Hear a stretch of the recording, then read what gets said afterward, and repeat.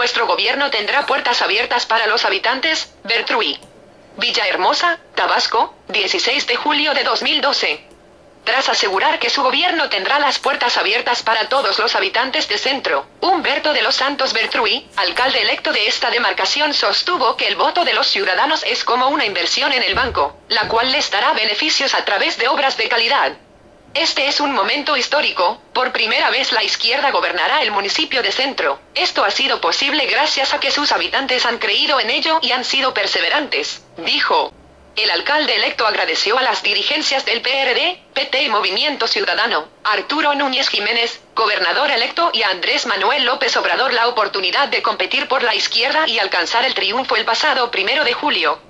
Nosotros estamos aquí porque nunca dejamos de creer en la victoria y porque la perseverancia obtiene siempre su recompensa. La lucha de la izquierda en nuestro estado ha sido larga para lograr que los más sentidos ideales de los hombres y mujeres de Tabasco se hagan realidad, agregó.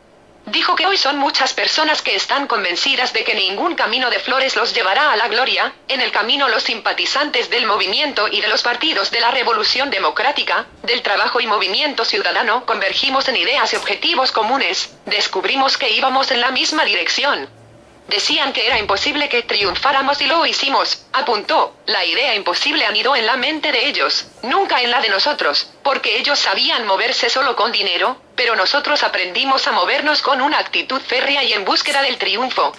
Sostuvo que gracias a la participación de poco más de 160.000 electores que votaron por la fórmula que encabezó, el pasado jueves 5 de julio, la Junta Municipal de Centro le entregó la constancia de mayoría y validez que lo ostenta como alcalde electo del municipio.